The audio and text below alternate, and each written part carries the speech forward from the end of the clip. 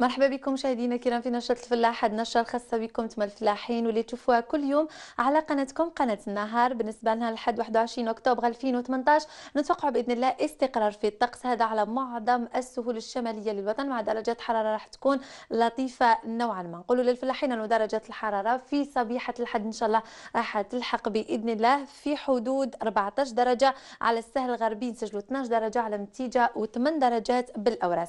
بالنسبة لدرجات الحرارة اللي نتوقعها خلال ظهيرة الحد. إن شاء الله راح تلحق بإذن الله حوالي 29 درجة على السهل الغربي. نسجلوا 22 درجة على الأوراس و27 درجة على متيجة نتوجه مباشرة نسبة الرطوبة واللي تعتبر عنصر مهم في الميدان الفلاحي. توقعت مصادر الأرصاد الجوية أنه الحد إن شاء الله معدل الرطوبة يلحق حوالي 60% هذا على كامل السهول الشمالية للوطن. ما ننساوش عنصر الرياح. نهار الحد نتوقع هبوب رياح راح تكون ضعيفة إلى متوسطة. أحيانا هذا على السهل الغربي ومتيجة حتى على الأوراس. تتراوح سرعة الرياح ما بين 15 حتى ل 25 كيلومتر في الساعة.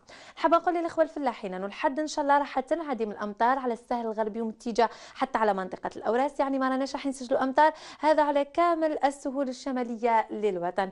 نتمنى أن هذه المعلومات راح تفيد كل فلاحين المتواجدين بالتراب الوطني. نشكركم على المتابعة إلى اللقاء.